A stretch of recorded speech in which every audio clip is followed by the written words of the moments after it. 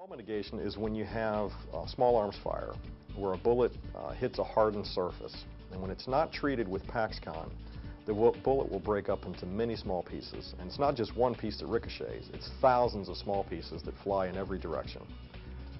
When treated with Paxcon, what happens is the bullet hits the hardened surface, but then flattens out and stays stuck under the coating, uh, thus preventing collateral casualty and damage from the, the bullet spalling, and that's what spall is, is when all that debris flies about in every direction. There was a young soldier who indeed came under small arms fire, was wearing a ceramic breastplate that was treated with Paxcon, and that composite together clearly saved his life.